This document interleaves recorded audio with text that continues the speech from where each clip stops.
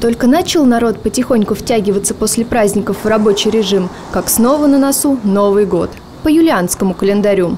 Но с 1918-го принято говорить «Старый Новый год». А возник такой праздник в связи с появлением в СССР Григорианского календаря. Наступает Старый Новый год в ночь с 13 на 14 января. Дело в том, что вообще новогодние, новогодние праздники э, до революции, они э, не праздновались так широко, как мы празднуем сегодня. Главным праздником было Рождество Христово.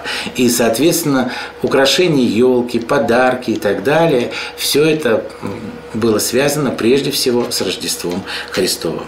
Ну, а нам Э, надо помнить, что Старый Новый год – это добрая традиция, которая имеет почти столетнюю историю, очень укоренилась у нас в народе, и всегда под Старый Новый год мы также желаем другу, друг другу всего самого наилучшего, здоровья, счастья и успехов в новом году. Сегодня мы решили проверить, сохранилась ли у людей традиция отмечать добрый праздник, собирая семью за одним столом. Скажите, как вы собираетесь отмечать Старый Новый год? Как? С бабушкой. Вот еду к ней в деревню. И будем вдвоем с ней отмечать. кругу семьи.